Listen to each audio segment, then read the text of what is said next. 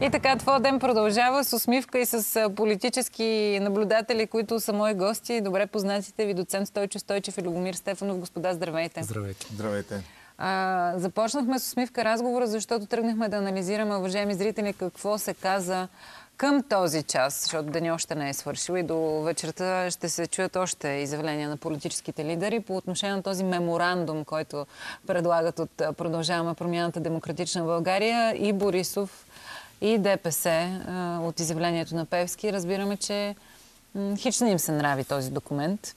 За едно делкане на власт говорят и двамата. Цитирам, конкретно цитирам в случая Пеевски, но подобно беше изявлението и на Борисов. Какво ни чака? На първо място меморандумът е вид документ от дипломацията, известен в основни, в основни линии. Той е известен с това, че когато две страни се съберат, си припомнят какво са се договорили някога назад във времето и го записват в документ като паметна бележка меморандум, за да си спомнят и да не забравят какво са се разбрали. Аз такова нещо, една страна да е седнала и да е предложила меморандум, да е направила драфт или чернова на меморандум, да го предлага на другата страна, за първи път виждам. А, ако щете, това нека да бъде и малка закачка с а, готовността на ППДБ да поемат ресора външно министерство. А, сега, ако имаше разговори, ако тези разговори бяха довели до някакъв вид общ спомен за това какво са се разбирали в началото, да го скрепят в меморандум.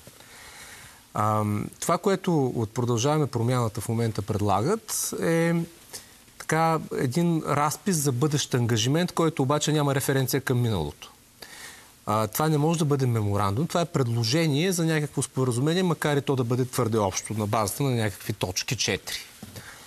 А, и изобщо в... меморандума като понятие изготвя ли се от една страна? Не, не, не. Пак казвам, трябваше двете страни. Така че тази, тази работа показва единствено а, готовността на тези хора да, да работят с подобен вид документи.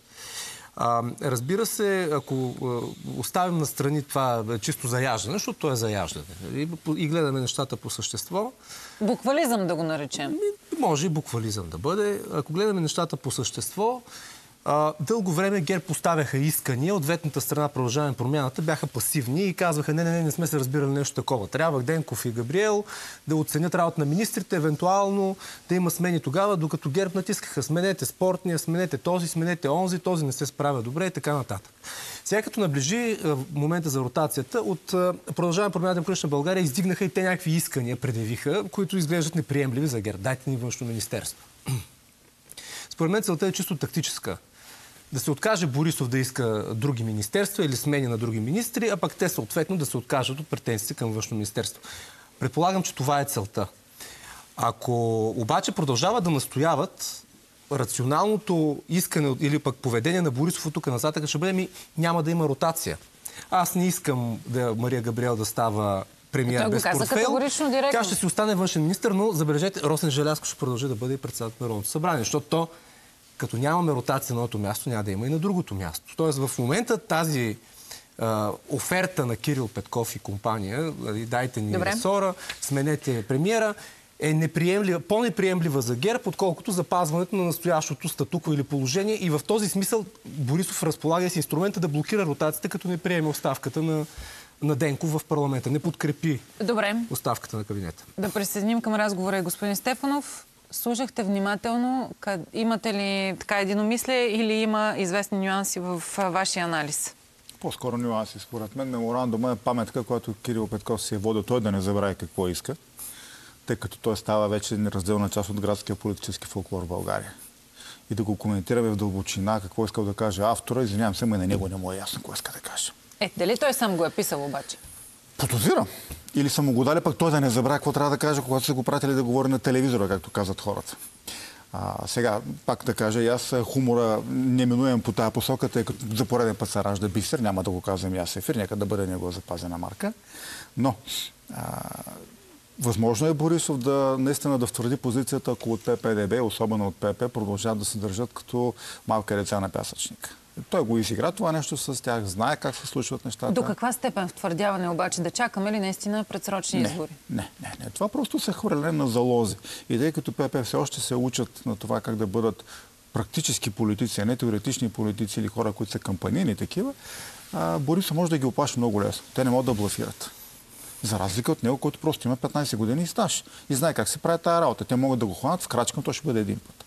В случая това, което се развива като сюжет и като сценарий, според мен, наистина пренареждане вътрешно и през медиите, през вас се опитват да се вдигат залозите.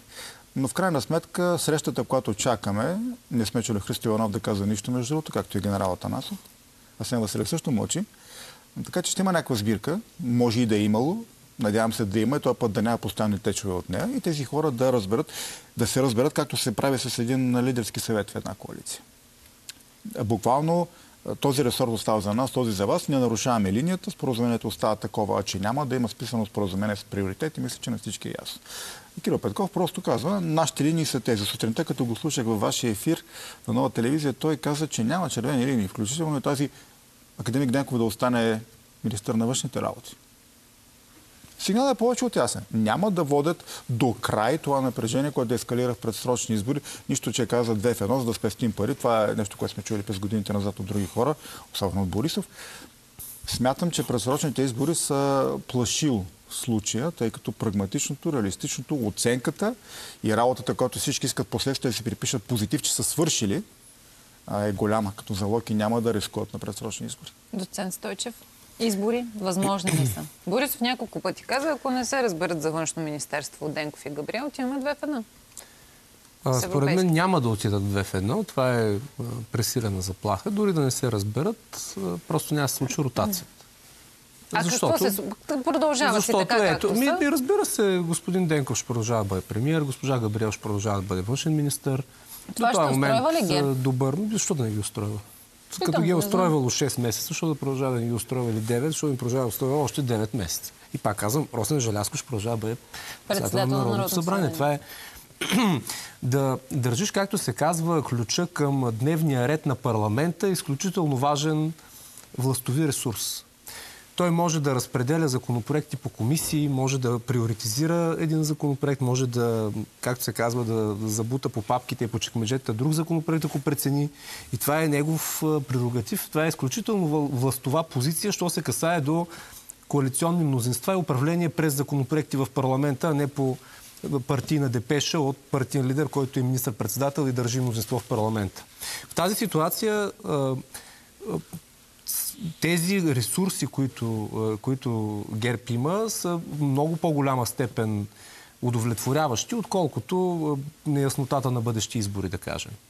Най-малкото европейските избори ще бъдат някакъв маркер, ще покажат кой как тежи електорално в, в настоящия момент. И преди него никой от страните надали ще се ангажира да, да, да събаря къщата, при положение, че не знаем какво ще стане. Да. Като минат европейските избори, като се видят настроенията на избирателите, разбира се, всичките оговорки, какво представляват Тогава европейските избори и как те се съотнасят към национално, защото това е доста така хлъзгава материя, но а, след всички тези оговорки ще се види кой как тежи електорално. Едните може да се възгордеят, другите пък Те да се първо ще го наблюдаваме това, да. Благодаря доцент Стойчев. Господин Стефанов, по отношение на евроизборите и към финал отиваме на разговора, финалните ви думи. А възможно ли е наистина този маркер евроизборите, взимам повод от думите на доцент Стойчев, да а, даде своя отзвук в а, разпад на сглобката, повече самочувствие на едните и предизвикване на предсрочен парламентарен вод? Едва ли, тъй като избирателната активност, този пък подключов маркер всъщност ще ги отрезви. Европейските избори никога не са били висока активност. Така че някой да реши, защото има един депутат повече или по-малко, че е загубил или спечелил позиция, абсолютна иллюзия, тъй като характер е различен, но там по-скоро отрезвяване. Преди лятната вакансия ще спадне напрежението, тъй като ще се минали през още един електорален цикъл. Всички ще се успокоят, че са там, където са. И от там нататък никой няма да има излишни иллюзии. А иначе още 9 месеца в същия формат Министерски съвет, абсолютно реалистичен сценарий. Само, че от него печели ГЕРБ. А продължение промената и демократична България ще трябва да се обясняват, че още 9 месеца имат хипотетично цялата изпълнителна власт и се чуят какво да правят. Защото отгоре така ще се стигне и до изборите в САЩ, което беше поредната партенка от миналата седмица, че ще се чака Ноември месец. ноември. Ми, то като се изтърве едната ротация, още 9 месеца сме в ноември вече. 9 месеца. Господа, благодаря ви. С усмивка ви изпращам. С усмивка започнахме разговора. С усмивка на живо ви изпращам от ефира ни. Ще ви очаквам отново, защото а, на живо пък ще посрещна климатолога Симеон